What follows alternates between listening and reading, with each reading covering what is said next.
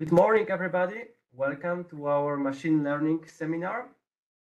Uh, today we'll have a pleasure to have a presentation from uh, Dr. Joshgun uh, Sirajzade uh, from the University of Luxembourg, uh, who will have a talk on the topic that is already uh, visible on the screen.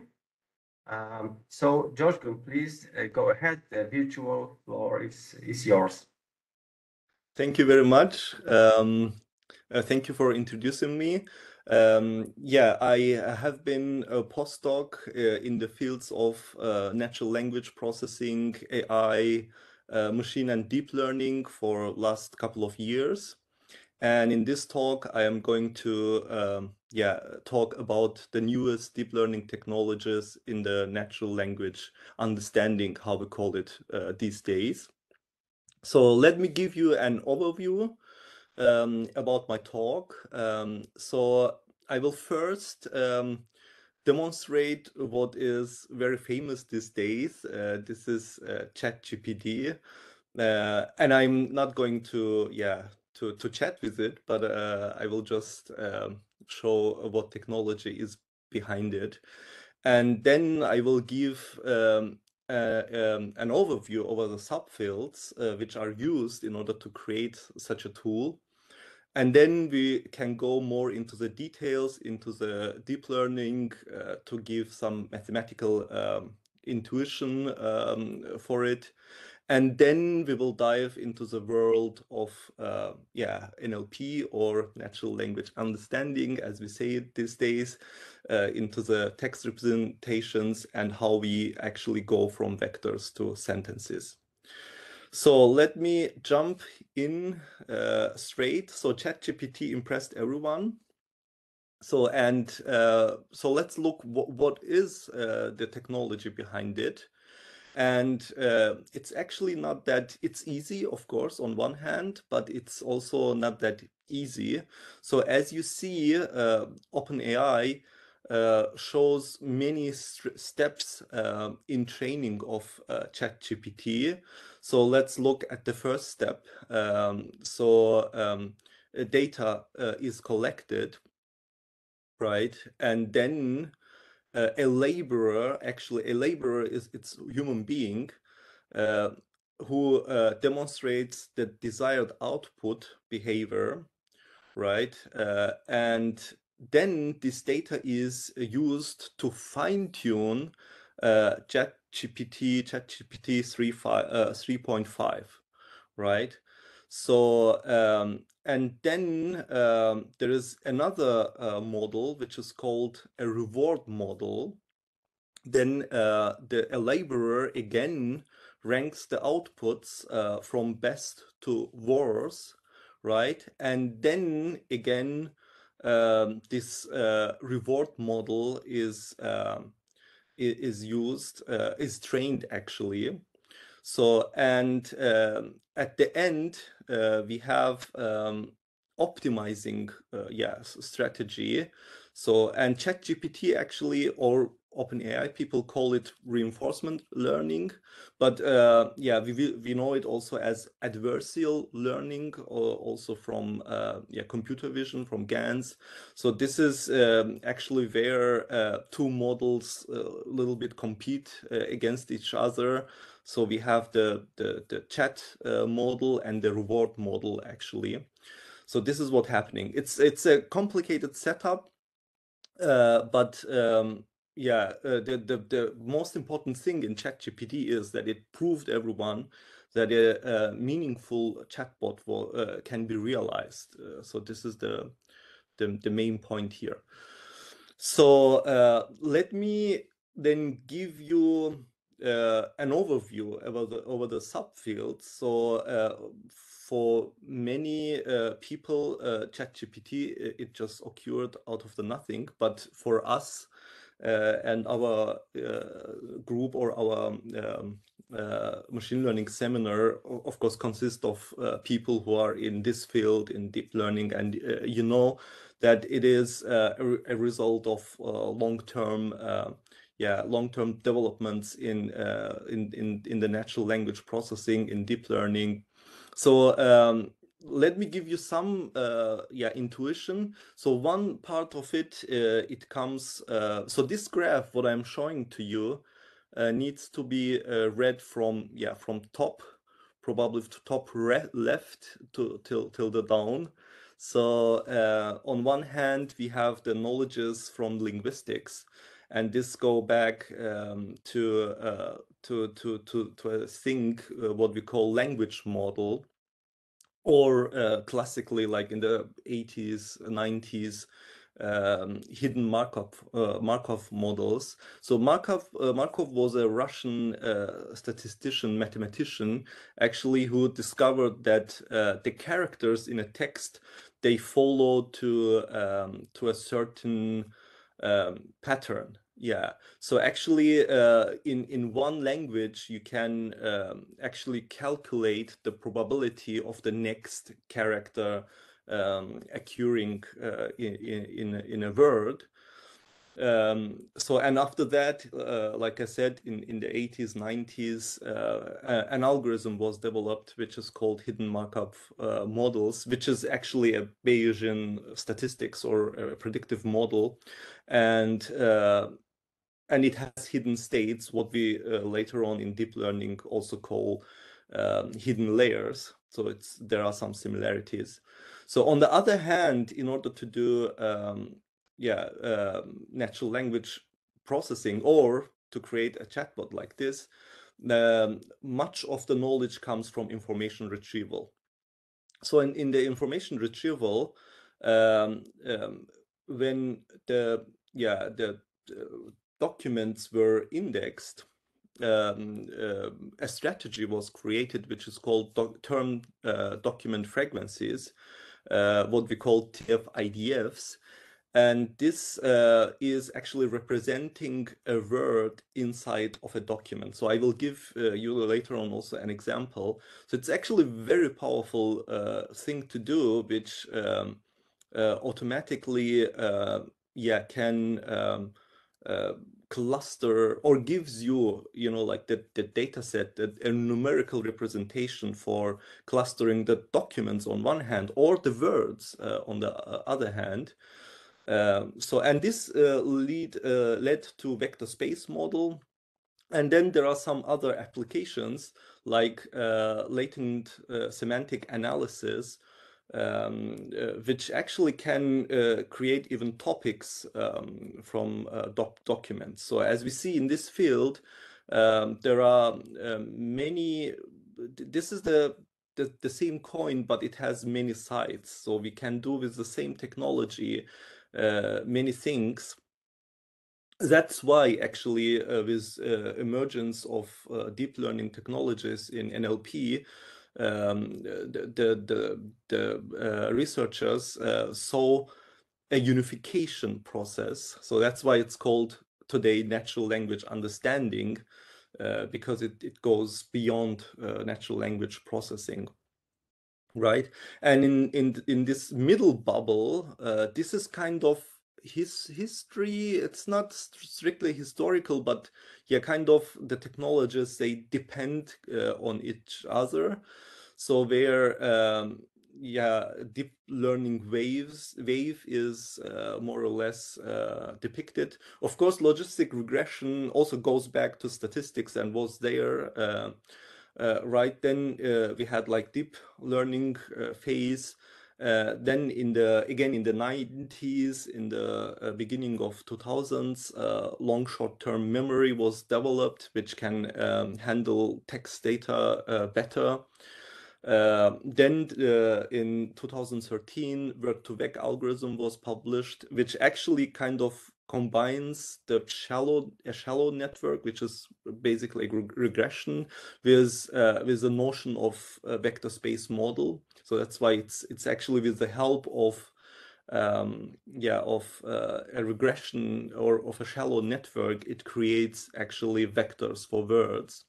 Yeah, and uh, what we don't uh, uh or what we uh, cannot forget, it uh, was also done for speech. So it's also there's also a unification. So now we are talking to a chatbot. So we um, yeah communicate with a chatbot through a, a, text prompt or through a terminal. But in the future, um, or of course at the same time, you see it.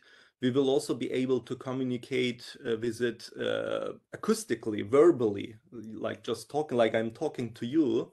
So it's like uh, it's also there. And in order to uh, yeah to assist this process um, uh, algorithms like wav2vec or uh, wav2vec2 were created um, and this uh, make from acoustic data vectors actually so and there are uh, some other uh, uh, algorithms or uh, technologies um, like seq to seq sequence to sequence um, which um, uh, later on also um, used um, what we call attention model. And this um, uh, attention model was used in what we call transformers, and it's culminated in, in a very famous uh, yeah, language model, which is called BERT or BRT, uh, depending how you want to call it. Uh, and BERT um, is yeah is bidirectional transformer which transforms uh, language. I will talk about also about it uh, or a text. And uh, yeah, and this all uh, you know like the also like the the theory of artificial intelligence chatbot it, chatbots or the notion of chatbots was also there like uh, till actually from the beginning of 60s 50s 60s um, but it was rule based. It was uh, very uh, primitive and very easy to uh, to uh, confuse, you know, and it felt very mechanic. Yeah, but after this um, technologies emerged and it was um, yeah uh, kind of unified. Uh, now, as we see in in the case of ChatGPT, it's um, yeah very uh, almost very human-like. of course, not absolutely, but yeah, it's um, it answers questions, it solves problems, it creates code snippets for you. So it's a very uh, powerful uh, machine. And uh, you see on the left side again, uh, you know, like this uh, doesn't end with with a chatbot. Um, it also goes beyond it and or combines with it or brings with it other components uh, which is uh, text mining, uh, topic modeling, which is also sentiment analysis. So there, are, the, the, field is growing, and I, I am sure um, you can feel now, um, yeah, the whole um, uh, masters or bachelors uh, only with natural language understanding, only only with these technologies. Uh, because this field uh, is growing so fast and uh, yeah um, and also like this field uh, has an impact on how a chatbot behaves yeah because the research from let's say sentiment analysis it can also influence the chatbot so the chatbot can um, yeah give, give um, you certain feelings or certain sentiments so it's not that mechanic it used to be. So, and you see why actually where this, uh, yeah, this subfield, where this knowledge actually coming from, uh, from which research. So, uh, yeah, let me just uh, show you some, uh, again, some subfields um, which are also their own topics, applications, you can call it uh, as you wish. With some selected, these are also selected publications. I think that the, the, the, the publication uh, in this field uh, goes so fast, it's uh, you cannot catch up. Yeah, but uh, you can imagine again, uh, there is a field which is called machine translation, and much of uh, of algorithms come comes actually from machine translation, uh, also sec sequence to sequence or, or autoencoders, how we call them. Um, there is a field which is called question answering. Um, there is um, a field which deals with conversations. This again goes back to a little bit to uh, yeah linguistics to um, to to uh, also like to social sciences a little bit how conversations are made Um, uh, and uh, they are also uh, classical fields inside of computer science, like uh, parsing, right? How do you parse the text actually the best? And of course, as I mentioned before, we are not only talking to, to a chatbot through a prompt, you know, like um, the, in the future, it will be possible to and not in the future, but now actually it's almost possible to talk to it uh, verbally, acoustically. So this is speech processing. Uh, so uh, and uh, speech processing also was there for a long time. It was its own field, uh, and it's uh, kind of now taking part in this unification process yeah um, so and you have of course uh, uh, many other fields um, like uh, let's say part of speech tagging which, which is very specific for uh, yeah natural language processing um, uh, or named entity recognition so and uh, i mean it's like probably very interesting to end all these applications field, fields with summarization at the end uh, yeah, uh, but yeah, there, there, there, there are many fields of text mining, um, and one of them would be summarization, text summarization, which is also uh, an interesting uh, field. Yeah, and this uh, the, the, the publications uh, you see the references they are just um, some picks, um, and the field is growing very fast actually. So let me uh, again go back and just um, yeah just uh, think about what what is uh, machine learning and what is the aim? Why are, the, are we applying machine learning deep learning uh, in, in into these fields? So uh, let's imagine we have um, a demo app and this app greets people. Let's say it's like very very simple chatbot and you just log in and it uh, tells you good morning or good afternoon. So what you can do and what was done in the chatbots uh, like maybe 20, 30 years ago, it was uh, hard coded actually. So, and in our uh, example, um, yeah, it was just assumed, okay, until uh, 12 o'clock, uh, until, yeah, you know, like afternoon, um, you uh, or the app can greet the people with good morning and uh, as soon as the time goes uh, higher or upper than uh, 12 o'clock then uh, you greet them with good day or or good evening and uh, maybe after like 18 or i don't know like 7 18 or 19 o'clock you say um, good evening. So this would be this it's a very easy thing to do uh, uh, like to hard code it but um, of course uh, it may depend on the culture how you um, greet people. It may depend on the enterprise. So the best thing is to go and to learn it from data actually how are people um, doing it. Uh, and of course in many things how people answer questions uh, uh, in many things, it's a good idea to uh, get this information from data and not uh, hard code it at all. yeah, but you see here um, um, the, uh, how uh, it's um, actually emerges into the training uh, data. So you see it above, this is our training data, and into the learning process, into the learning algorithm. Uh, and it's actually, if you would imagine it in two-dimensional space, it's just a cutting line. You could say, okay, uh, the last person who said good morning, in our case, it's uh, 11, um, 6, right, in, in our data set.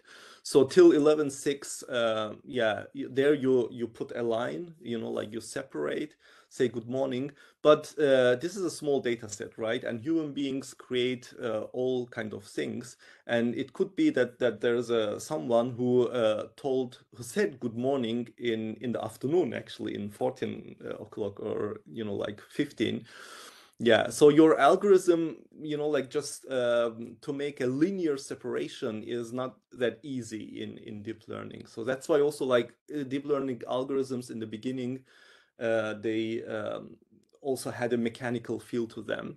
uh, which we solved, of course, with um, um, with deep learning, with non non-linear uh, separation, non-linear activation functions, um, um, or, or, if you if it's like with um, uh, if it's um, complex and has many dimensions, then it's uh, yeah non-linear hyperplane. Actually, let's let's put it this way. So yeah, and another thing is like in this Good Morning uh, application, we have uh, also kind of very well uh, understandable timestamp, but not everything in the life is um, yeah is um, actually a number. So also another question which occurs how you convert things into numbers, especially uh, in our case how how you convert the, the sound waves or the written text uh, or the type text into the numbers, how, how you represent them best. So this is um, this is also one of the questions. And another thing I would uh, like to show you, actually, in in in in my opinion, in deep learning research, there is a big distinction between um, between supervised learning, unsupervised learning, reinforcement learning, uh, which is good, but I think at the end they all aim the same and they go back the same. So in our case, it doesn't matter if um, if this uh, application, if our training data, if it's let's say historic data, it's if it's happened, you know, like 20 years ago, or if someone is sitting there and uh, you know like uh, training this app. So app says good morning and the, the person says or the laborer says no it's not. It's actually evening or something like that. And the, the algorithm is uh, you know like trained again. So um, it actually again for me it's um, different size uh, sides of the same coin. Um, so basically at the end everything is a data data feedback so interesting uh, is when uh, you have uh, um, adversarial training, uh, when you train two two networks playing, uh, let's say, against each other. So this is, uh, of course, um, yeah, a, special case, and um, this, of course, yeah, also works very fine in in in some cases. Um, and it's just easier. It can uh, be automated uh, very fast, and uh, yeah. So these are some uh, notions. So you all know um, uh, about artificial neural networks. I uh, probably will skip it. So what is important? Just to say, we have input layer, we have hidden layers, we have output layer. Yeah, but as I said, which is most important probably from mathematical point of view, is um, two, things actually. These are two things. So the activation function we use, uh, and this activation function here, it uh, actually enables um, a non-linear separation in, in the data set. So, and because we have, uh, yeah, many, uh, let's say many layers and uh, many uh, input nodes, so this would be the layers would be here um, um, vertical, uh, like horizontal, and the inputs would be um, um, um vertical. We can create a very granular imprint of the data, which is very important in in uh, NLP, in uh, NLU, in natural language understanding, because yeah, text data text consists of a lot of words and it's a lot of information. We can uh, create a lot of sentences. Basically, in, in the time of Chomsky, uh, we would say uh, we can create endless amount of sentences. So that's why deep learning performs so good, actually so well. But uh, with this also comes the downside. Um, the downside is that these models are very data hungry and uh, computationally very intense. Uh, so that's why also we need um, computational power, supercomputers. And I will also talk about that. So which uh, makes the life of, yeah, um, machine learning uh, researchers easier. So, uh, yeah, so I will just scratch a little bit uh, speech recognition. Uh, so as I said, you can create um, yeah representation from text, but also you can uh, create representation from speech, from uh, from sound waves, uh, which is called acoustic model. And again, this is probably a, a perfect example for language model. It's just a probabilistic model uh, which uh, assigns, um, yeah, to to to to a, uh, ut uttered word to to the said say said or to the said uh, let's say um, audio wave uh, a word which it might be. So but i as you see also it needs uh, a lot of hours of speech and it was historically done with uh, hmms with hidden markov models but these days we use also deep learning. And there are also uh, um, many ways of processing it. Uh, you can process it um, with MFCC, uh, this would be one dimensional uh, vector, uh, which is created with um, yeah, uh, with pre-processing, but you can also use, um, you know, like two-dimensional uh, representation, uh, like uh, in in computer vision. So also you can actually uh, use um, plain uh, text, very similar to computer vision. Also, we we will see about this. So, and let's go back to text. So what what, what is uh, what do we need actually for words? So what we need is a numerical representation. This means converting text into numbers. Yeah. And we can do it in many ways. Uh, we can count them, we can uh, take their positions into account, their context. But um, yeah, uh, the most important thing is probably is uh, how this numerical value represent uh, represents the word the best. So this is the crucial question. And I, I, think also I have a feeling in natural language understanding, many people just go and apply all the algorithms um, without thinking too much um, about where these numbers come from actually and how well these numbers actually represent the phenomenon um, we, we wanna ca catch. So the, the, the metrics and yeah, the, the, understanding of the phenomenon is very, very important. And um, of course, we create numerical representation for, for a word, uh, but then we can concatenate it together uh, and uh, uh make it to a sentence, or we can uh, also build a whole representation for a document. So it goes for all uh, all these levels.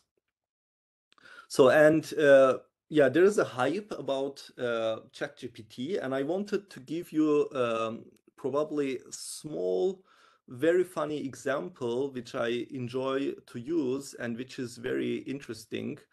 So um, um, so let me yeah first show you this one probably because this one explains the best uh, how you can vectorize a text actually uh, and how the text um, um yeah might uh, be uh, organized or chunked into meaningful representation. So we uh, here we have our toy corpus. So it has four um, texts in it. So the first one uh, is about uh, animals about pets dogs cats bats and the third one. And the second and the last one um, uh, is about algorithms or computer science. It's just i invented it you know and if i i if i run this code and uh, so it's uh, i use uh, scikit-learn library which is uh, very um, uh, very um, um, very very um, famous in machine learning. Um, so it's very easy to use. So you see it's not that much line of lines of code. So this is what um, a computer, uh, not a computer, what the algorithm actually does, maybe how how well visible are the results actually? Can I? It doesn't look that well. Let me Can, can you can you tell us whether it is a pre-trained model or it is uh, just a clear model that you are training? Uh, because not probably no, not everybody is familiar with those libraries. Ah, okay. So what I do here actually, so what I do here is I I I I import these libraries. So but it's not actually that important. I have this variable here which is called corpus, and I create a count vectorizer, right? And then actually um, see the actually this one is what we are seeing here. So actually, I yeah, I formatted uh, actually here. Here is it here. So and here we have a beautiful layout, and here we have a beautiful layout. So this is where it's uh, it's actually shown up. So let me. Th this is uh, basic counting. So nothing uh, special happens there. There's there there's uh, let's say there's uh, here in this ste- step there's no mathematics behind it. So what the algorithm just does, it uh, creates uh, what we call a dictionary, which is just all words in all documents. So this is this one. So this is our dictionary. And it goes, it's a little bit longer. And this is our uh, so documents. These are our documents, and it just puts the count of a word um, when it occurs in one document, and if not, it it is uh, zero. Does it make sense? Yeah, go ahead. So it counts the words.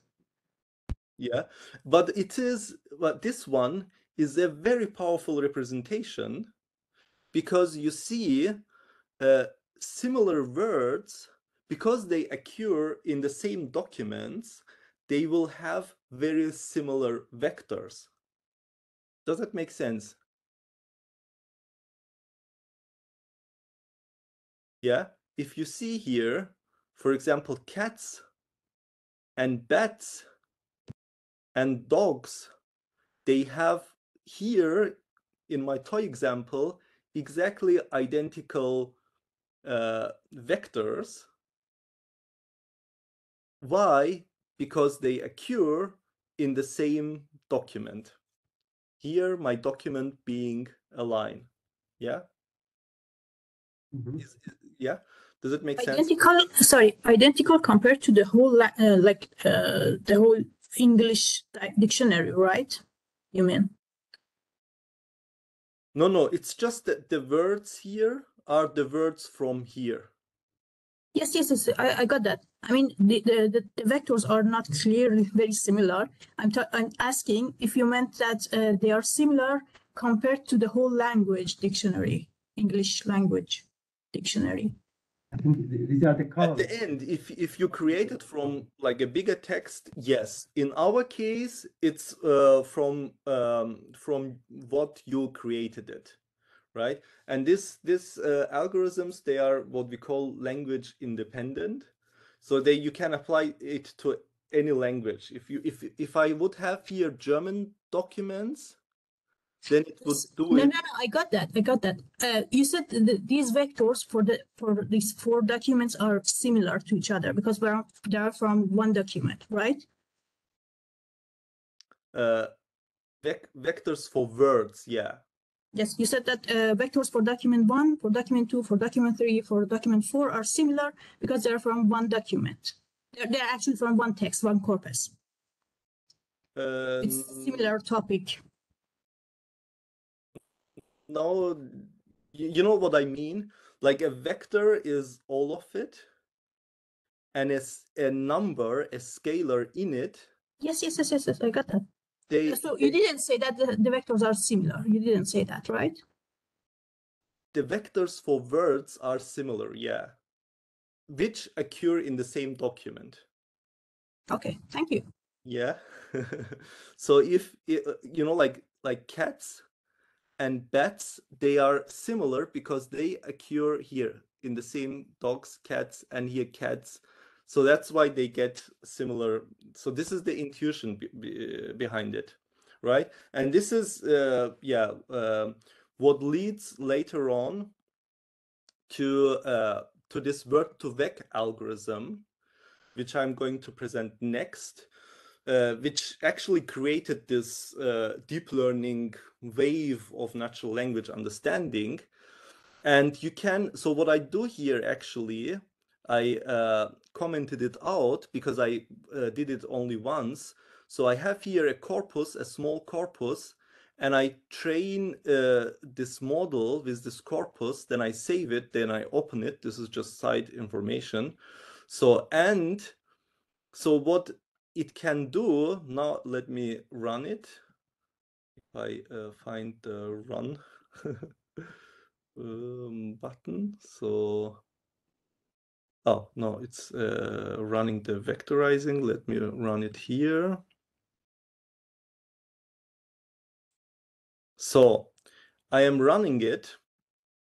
And what, what I'm asking this model is I am giving it three words. This is tea, coffee, and car, right?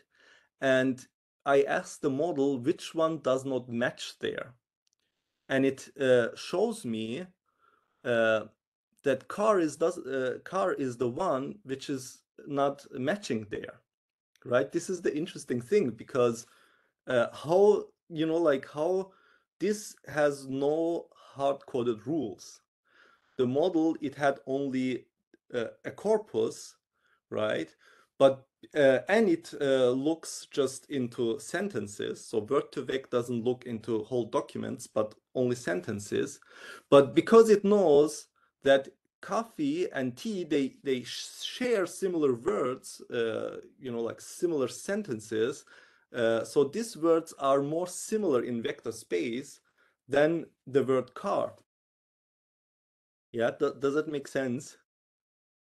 Yeah so uh, and uh, we can go even further. We can also see um, uh, most close words in in the vector space so if we get the word president, it gives us words like presidency, governor, which is actually almost a synonym, chairman, right? Um, uh, chancellor, even. I mean, this is amazing, right? So, um, or let's say city. To city, it gives you town, uh, you know, suburbs, uh, downtown, Bronx. Bronx is uh, also a suburb right? Or to coffee, it uh, gives you sugar, uh, you know, cocoa, uh, cotton, because cotton is also grown, you know, like, so it's, um, it's amazing. It's amazing thing. And to see how it works, again, I have here like a toy corpus. So again, with dogs and cats, because I love dogs and cats.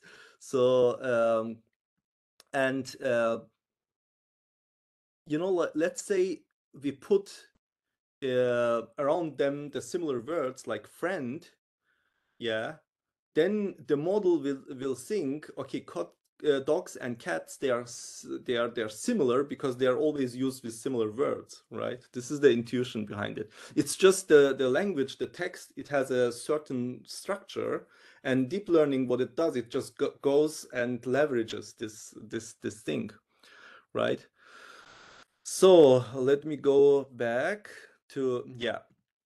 So two demos. Uh, so this is why i showed this ones because um, these um, algorithms are very very easy to use. So if you want to experiment if you want to code building a chatbot this this might be maybe a hard task to do for for a scientist for a researcher.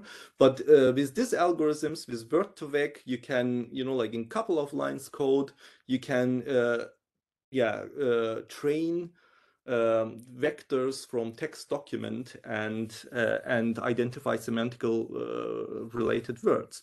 So they are similar uh, in meaning, but not exactly synonyms or autonyms because we know it because they appear close to each other in the vector space. So they have just uh, yeah similar vectors. And vectors are mathematical objects. So like like this, it could be anything. Um, and mostly if you create vectors from text, it doesn't, yeah, if you just look to the number, it doesn't say you that much. So it's um, also because it's, yeah, the data set is uh, probably so big in, in the case of, of a text. So, but uh, let's think about what we can do with it, right? Uh, and the thing is, uh, uh, am I understand? Uh, um, do you hear me? Yes, yes, we can hear you. Yep. Okay. Okay. Uh, so um, what we can do with it, what happens? So if we have a vector, if we have a good numerical representation for one word, we can identify, um, you know, like similar sentences, even if we put um, you know, like if, you put uh, put uh, them together. So let's say, and this this is a classical um, example from sentiment analysis, but it uh, can be also applied to uh, question answering or even to uh, machine translation. So let's uh, think we have an example sentence, which is the president took the wrong decision, right? And let's say this either we want to create an answer to this sentence or we want to mark it as negative in, in, in, in a sense of sentiment analysis. And because the model knows all the similar words to it, it can go ahead and identify other formulations. So if someone says this governor takes a false decisions, which is probably not um, likely to be said because it would be a false decision. Uh, but yeah, uh, let's let's imagine uh, someone said like this, or someone had a typo, but the model is still very uh, yeah very flexible, and it it understands the the, the meaning of um, uh, what was said, and not the the words. So this is actually a semant semantical representation, what we call a semantical uh, representation, its semantical meaning. So that's why you can ask uh, the chatbot, uh, who is the president of the United States? Or you can ask, who is the president of America? Who is the president, uh, I don't know, uh, yeah, of, um, yeah, I, I don't find any other synonyms, but yeah, so the model will still know um, that you are asking about the president of, of the United States, right? Or maybe you can even ask, you know, like because the, the new models, they are also very context, uh, context uh, sensitive. You can also ask who runs the United States. Yeah, it, the model still will know, okay, you are asking about, about the president uh, because of this. So it's uh, probably very a very easy way to to think about it to what what happens what what is the ph phenomenon actually right? So uh, this said let's again dive in uh, a little bit into the newest technologies. So we what we have uh, uh is uh, sequence to sequence uh, neural network model. So it uses embeddings with sparse features so, and sparse features, this is also very confusing. This doesn't mean that the number of features is sparse. It just means it's a sparse uh, matrix or a sparse vector. Um, and sparse means it's it has lots of zeros and just a couple of ones because a sentence sentence can be uh, short, right? So, and uh, what we do, we create dense vectors, dense features from these uh, sparse features. So, and then we have uh, recurrent neural networks. So we have, uh, it could be LSTM, it could be transformer attention model, which uh, actually creates, again, from these features, uh, dense features, right? And at the end, what we have is a uh, softmax function, you know it from deep learning, uh, of course, and I won't go into that much detail, but this softmax function actually creates discrete predictions, which would be, in our case, the words, right? So uh, here's, you see again, a very simple visualization for, uh, yeah, uh, from words to um, features, actually, uh, a graph and uh, the same uh, happens uh, one layer after. So here we have the weights. So it goes from features to, to, to weights, and this is the, the famous function with input weights and bias, uh, which is yeah our neural network mathematically formulated. And uh, yeah, this is what uh, happens in the language model uh, at the end. So there is a softmax uh, function which uh, runs over the whole matrix and creates with the product, with the dot product of the probabilities, probability for um, yeah for for um, one uh, answer. So this is actually uh, uh, what happens um, um, technically behind, and and I also uh, often get questions. So, uh, what what deep learning uh, algorithms or architectures are used? So actually, it's it's so wild. So it's um, um, many uh, chatbots they use uh, BERT BRT. Like in in the case of ChatGPT, it, it, it uses uh, yeah GTP uh, models. Um, so uh, and they uh, they are again can be based on transformers attention. So um, actually at the end yeah it's on uh, on your hand also to choose uh, the, the desired architecture uh, and uh, yeah, there are many now in the in the science and in in the industry actually, and uh, yeah just to give you uh, last last uh, one of the last things to think about so also what is interesting what is what comes from uh, from actually machine translation is this encoder decoder philosophy where we try to input, let's say here, one language, then encode it, and then the decoder decodes it and outputs another language. But this could be also question answer. This could be um, a long test sh text, short text uh, in the case of summarization. So this architecture is also like very, yeah, very useful. Uh, so my conclusion, my summa summary is uh, AI, aka deep learning algorithms, they get better, definitely. Um, on the other hand, training data gets better uh, with demonstration of tools like ChatGPT. We understand even we uh, need more data. We need to know our data. We need to know the phenomenon right uh, it uh, gets uh, better and and uh, on the same hand computational power gets better right we have supercomputers there are of course uh, limits to silicon but quantum computing is coming you know special architectures uh, are coming for um, processing deep learning networks um, so and of course uh, we are uh, yeah witnessing uh, great times where AI uh, is improving a lot. And yeah, with this, I thank you for listening and let's discuss together if you have questions uh, and so on. Thank you, Joshgun. it was very interesting talk and uh, we have very little time for discussion. And maybe first I will, I will uh, let's say, read or recap the questions that appeared in the chat uh, during your, your talk. So uh, first, it is a request uh, if you will be happy to share the slides with everybody on our website.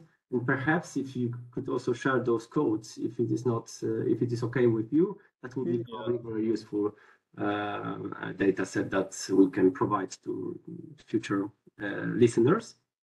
Uh, sorry, I, sorry, sorry. One one note. Uh, I actually need the references that you introduce. One slide. The references. This one. No, no, no. In the uh, yeah, that's that works as well. Thank you. I, am going to. Will, will present. Yeah. So what I wanna say also, I have a YouTube channel, and these code snippets they are on GitHub so they are all, uh, uh, already online available. If you Google it, you will find it. Just Google my name. but you know, just to make uh, some add some metadata to the description of your presentation, it will be easier to link what you presented with um, the, your YouTube channel, the, your codes, GitHub, and so on and so forth.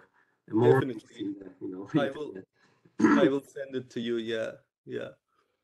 And the, the quite interesting question from uh, Lorella is the, I think it is, it relates to the bias of data and uh, why there was a chairman, not a chairwoman, as a, one of the closest words to the president. uh, I, I think the answer is quite uh, maybe obvious, but maybe you want to comment on, on that as well.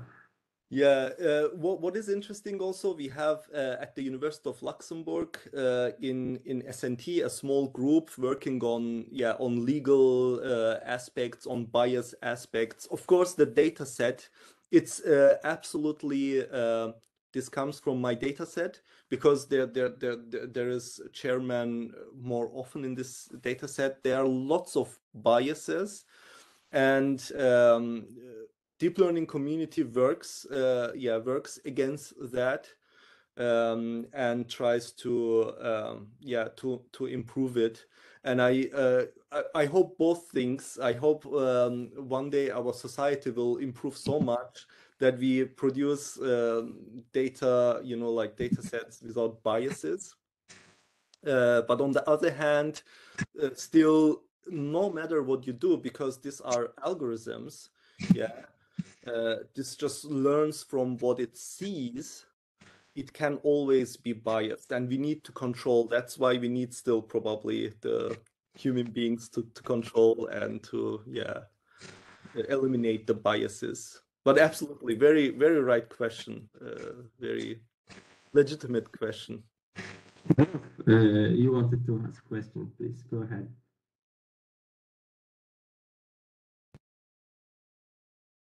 Uh, we cannot hear you. Hello. sorry. Roof? Are you there?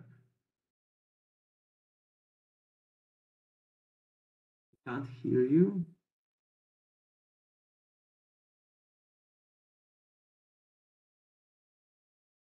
i'm also not hearing uh, uh, am i lost or You can write in the chat. Yeah, maybe that will be the easiest. I can read it loudly uh, if you if you write in the chat. So in the meantime, I, I ask one question. Uh, you said that, uh, I mean, uh, I found it a very interesting idea. I mean, uh, uh, the, the one that we have to choose uh, the best numerical representation of data. And with the vocal communication, you said that we are going to, one way would be to pick a window for like taking data sample, right? And here's the thought, do we have different wind, it, uh, uh, it is it is already uh, like working technology, right? Do we use different window frame for different languages? Um, yeah, this is a, also a, a, a thing, a question or a topic which was researched. Actually, what what is what should this window be actually? So, and there are several solutions. They are there are uh, let's say um, uh, language dependent solutions. So let's say uh, uh, let, let me give you uh, an example. By default, if we would use word to vec algorithm, it would uh, consider five words before the word and five words after.